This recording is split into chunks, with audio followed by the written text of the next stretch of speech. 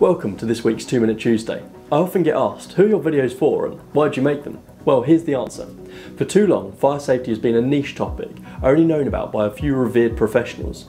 However, if we're going to see real change in the numbers of fires that happen and the numbers of people who survive them, this needs to change. The best way for me to illustrate this is by sharing some clips from a fascinating speech by Dr. Barbara Lane, Global Fire Leader at Arup and expert witness for the Grenfell Inquiry. Let's roll the intro.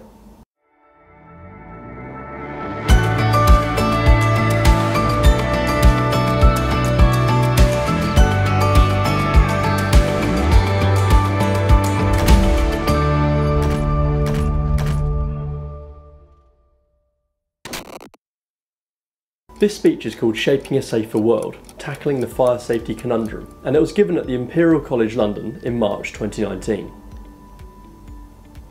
Fire safety knowledge cannot carry on being a niche discipline area. We cannot carry on producing graduates or apprentices who think about fire in such an, a narrow niche way or not even as relevant to them at all. So we can see from this that fire safety applies to everyone, not just fire engineers, not just fire consultants or risk assessors, but to everyone who has anything to do with the built environment, whether you're an estimator, an architect, or even the occupier. The next clip helps illustrate this further.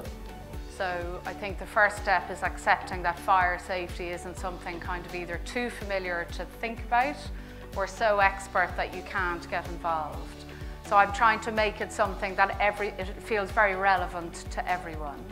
And so it becomes part of the education of, you know, far more disciplines, say, than the, the so-called classic fire safety engineer. So, to answer your question, the goal of these videos is to help answer common questions and explore key topics around fire safety and smoke control with a view to making fire safety knowledge more accessible to everyone in order to reduce the number of fires that happen and increase the number of people who survive them.